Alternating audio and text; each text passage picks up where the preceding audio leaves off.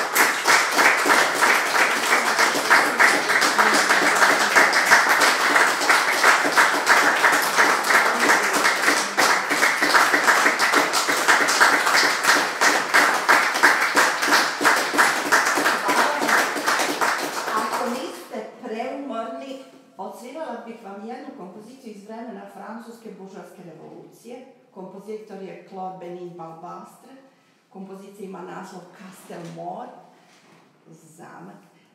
međutim, ima u njoj elemenata koji jako asociraju na naš folklor iz vremena Prvog svjetskog rata.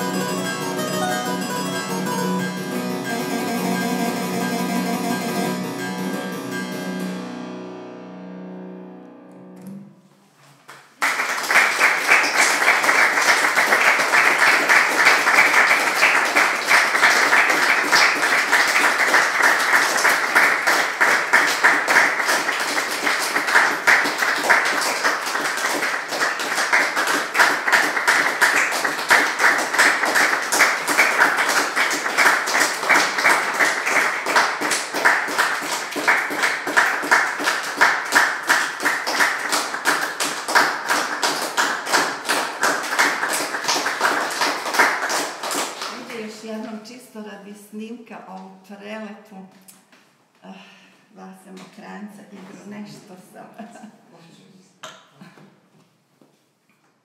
Thank.